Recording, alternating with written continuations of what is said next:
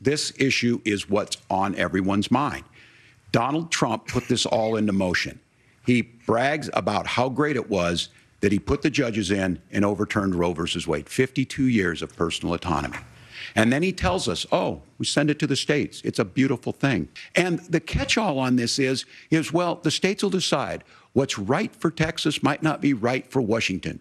That's not how this works. This is basic human right. We have seen maternal mortality skyrocket in Texas, outpacing many other countries in the world.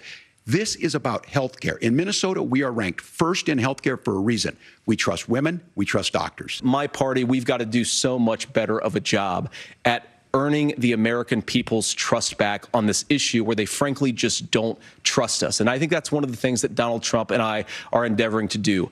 I want us as a Republican Party to be pro family in the fullest sense of the word. I want us to support fertility treatments. I want us to make it easier for moms to afford to have babies. I want it to make it easier for young families to afford a home so they can afford a place to raise that family. Now, now of course, Donald Trump has been very clear that on the abortion policy specifically, that we have a big country and it's diverse. And California has a different viewpoint on this than Georgia. Georgia has a different viewpoint from Arizona. And the proper way to handle this, as messy messy as democracy sometimes is, is to let voters make these decisions, let the individual states make their abortion policy. And I think that's what makes the most sense in a very big, a very diverse, and let's be honest, sometimes a very, very messy and divided country. The idea that we can magically wave a wand and take guns out of the hands of bad guys, it just doesn't fit with recent experience. So we've got to make our schools safer. And I think we've got to have some common sense bipartisan solutions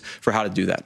Well, I think all the parents watching tonight, this is this your biggest nightmare. Look, I got a, I got a 17 year old, and uh, and he witnessed a shooting at a community center playing volleyball. Those Awful. things don't leave you. Tim, first of all, I didn't know that your 17 year old witnessed a shooting. And I'm sorry about that. And I, I hope that he's doing okay. So. Christ have mercy. We have way higher rates of mental health abuse or mental health um, substance abuse we have way higher rates of depression, way higher rates of anxiety. We unfortunately have a mental health crisis in this country that I really do think that we need to get to the root causes of because I don't think it's the whole reason why we have such a bad gun violence problem, but I do think it's a big piece of it.